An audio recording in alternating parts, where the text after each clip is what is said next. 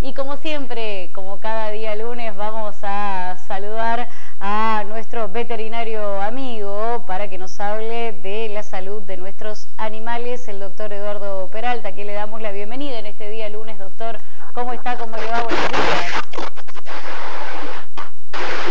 Muy buenos días, ¿cómo están todos? Todo bien por acá, por ahí. Eh, estamos hermosos, una mañana bien fresquita. Linda, linda, linda mañana, ¿eh? Después de las lluvias, está, está lindo el día lunes. Linda mañana. Está lindo para arrancar la semana a full, con muchas pilas. Así es, totalmente. Doctor, bueno, hoy vamos a estar hablando de un tema eh, en especial, un tema que afecta, una enfermedad que afecta a nuestras mascotas. Exactamente, vamos a hablar de una enfermedad que generalmente la tienen nuestras mascotas y a veces la, confundimos con, un episodio que tal vez no llega a ser la enfermedad. Vamos a hablar de la epilepsia. ¿ah? nuestras mascotas pueden padecer epilepsia y la respuesta es sí, pueden padecer epilepsia. Eh, generalmente se da en, ¿qué sería la epilepsia? La epilepsia sería varios ataques de convulsiones repetidos eh, en un lapso corto de tiempo ya sea en pocas horas o ya sea en pocos días. Eh, eso le podemos llamar eh, epilepsia. Este, generalmente estamos viendo muchos eh, casos de epilepsia en una raza que, bueno, tenemos como, como afín, que, se ha hecho de moda en, Argentina, en Santiago del Estero también hay muchos caniches, mm. y casi todo, ¿quién no tiene un caniche en sus casas hoy en día? Bien, claro, eh, doctor. ¿Y, cómo, son, cómo son los síntomas eh, de, esta enfermedad? ¿Cómo nos vamos a dar cuenta? ¿Cómo este, tenemos que, darnos cuenta para poder consultar a los especialistas? Bueno, la, epilepsia o la, epilepsia, como hemos dicho, son varios ataques de convulsiones. ¿Qué es una convulsión? Vamos a ver nuestro animalito sacudirse, perder el conocimiento, eh, tirar saliva por la boca, eh, y vamos a ver que el animalito va a estar perdido, que no va a volver a, en sí rápido, se va a quedar estirado, duro en el piso. Eh, todo esto obviamente que nos hace asustar eh, mucho. entonces tenemos que salir rápido a acudir al veterinario. Generalmente me llaman por urgencia. Mi animalito acaba de, ponerse duro, de estar temblando en el piso, de sacar la lengua. entonces, este, cuando lo ven así, la gente se asusta mucho pero bueno, esto dura unos minutos y luego, luego pasa, pero nunca hay que dejar de consultar con su veterinario. Por ahí este, no tenemos la causa eh, que, que puede afectar, no vamos a saber la, la, causa, pero tenemos que saber que hay razas que están predispuestas, entre, entre estas es la caniche, el caniche está predispuesto a sufrir de epilepsia, eh, son animalitos muy nerviosos, son, son muy, animalitos muy temerosos y bueno, del 70% de los caniches que conozco sufren de epilepsia y están medicados. Bien, esto también es muy importante. ¿Tiene un, tratamiento? ¿El animalito debe comenzar un, tratamiento? ¿Esto es preventivo o es después de que eh, le da el primer ataque, doctor? No, cuando nosotros tenemos un, animalito que está sufriendo convulsiones, eh, bueno, obviamente que tenemos que acercarnos al veterinario, contarle lo que está pasando, por ahí puede ser un episodio aislado, que sea una sola convulsión, eh, entonces no tendremos que medicarlo. Pero ya si se empieza a repetir varias veces, varias convulsiones en, días repetidos, y sí, bueno, vamos a tener que hacer una medicación que puede andar de por vida tranquilamente, sin ningún ataque, así que no hay que asustarse por esto, tiene tratamiento, eh, y, si, lo, tratamos a tiempo no vamos a poner en riesgo la vida de nuestro animalito. Bien, doctor, y hay que, hay que hacer algo durante el ataque, digo, porque por ahí uno ve a su animalito de esta manera, se asusta, intenta ayudarlo de, alguna manera, o hay que dejar que, la convulsión termine. ¿Cómo, se debe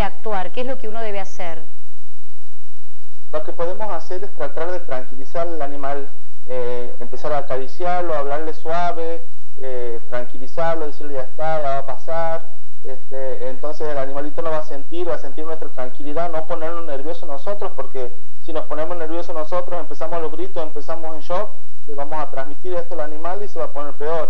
Entonces hay que tratar de tranquilizarlo, tratar de, de acariciarlo, de que baje, de que vuelva y bueno, en unos minutos seguramente termina la, la, el episodio, que este que es un, la verdad que es un episodio muy feo para verlo, para presenciarlo eh, y bueno, más si es de, un, de, un, de una mascota nuestra.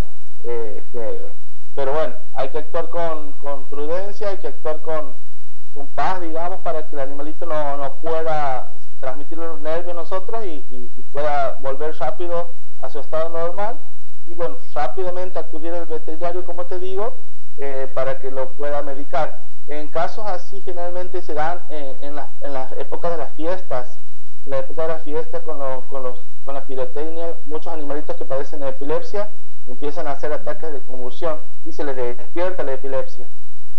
Bien, importante tener en cuenta de que hay que cuidarlos también de esos ruidos extremos o eh, de esos momentos de miedo y de pánico que, pasan los animales. Exactamente, otro punto a tener en cuenta es cuando lo llevamos a la estética canina. Eh, el animalito eh, se pone muy nervioso en la peluquería mm.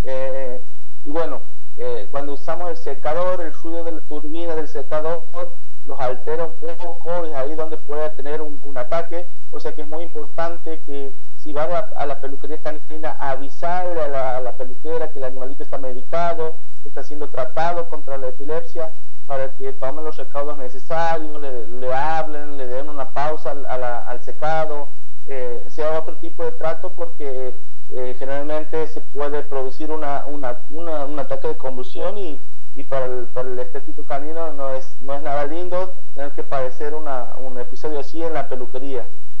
Bien, doctor, decíamos que este, los caniches son una, una, raza prevalente de este tipo de, enfermedad, pero ¿hay alguna otra raza que, que también tenga este, una, una mayor prevalencia para tener este tipo de ataques?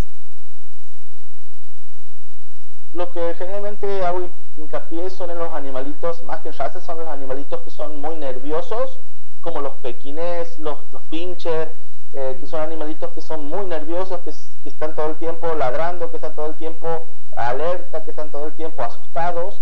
En estos animalitos es, muy probable que puedan eh, padecer una convulsión o llegar a tener epilepsia. Bien, ¿tiene, tiene que ver también la, la edad de, del animal o se puede dar en cualquier momento? No, no tiene nada que ver la edad, se puede dar en cualquier momento, tanto el cachorro como adulto. Puede ser que nunca en toda su vida haya, haya manifestado eh, ningún tipo de convulsión y en la edad mayor empieza a tenerla. Eh, hay enfermedades como el ser el moquillo canino, que es un virus muy, muy potente, que obviamente está afectando el sistema nervioso central y también empieza a producir eh, convulsiones. Bueno, en este caso ya no sería una epilepsia, ya sería el, virus del, del, moquillo. Entonces hay que saber diferenciar y, y bueno, eh, no asustarse, como les digo, cuando tengamos un, episodio de, una convulsión, un episodio convulsivo, no asustarse, tratar de tranquilizar al animal, de, acariciarlo, que, vuelva a su estado normal y, bueno eh, acudir rápidamente al veterinario de confianza. Bien, doctor, ¿esto se da solamente en eh, perros o también podemos ver estos ataques en gatos, por ejemplo? Eh, generalmente se da en perros, el gato también puede padecerlo, pero los gatos es muy poco probable que lo veamos, como son animalitos tan independientes, son animalitos que se esconden,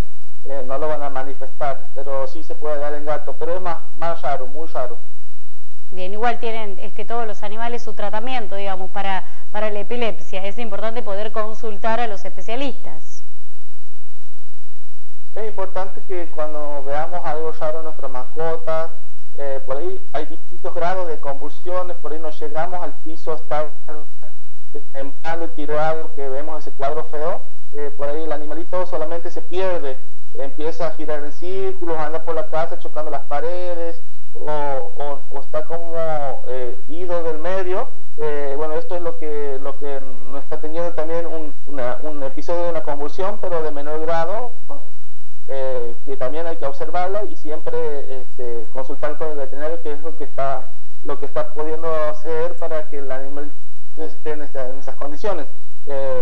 lo más importante es que siempre dejemos estar, que actuemos rápido, que veamos algo raro, hablemos con el veterinario eh, y, y, no pasen los días. Hace una semana que, lo he visto que temblaba, hace una semana, no, una semana eh, que sea algo rápido y para que podamos tomar este, cartas en el asunto muy rápidamente y, y que no se nos vaya de las manos. Muchísimas gracias, doctor, como siempre. Gracias a ustedes, que anden bien. Buenos días. Nos vemos el próximo lunes con más consejos. Muchas gracias. Que tenga una buena semana. Hasta luego. Compartíamos ahí, amigos, las palabras del doctor Eduardo Peralta, como siempre, hablándonos acerca de la salud de nuestros animales. Hoy hablamos de la enfermedad de la epilepsia, cuáles son los consejos que tenemos que tener en cuenta si nuestro animalito sufre de esta enfermedad.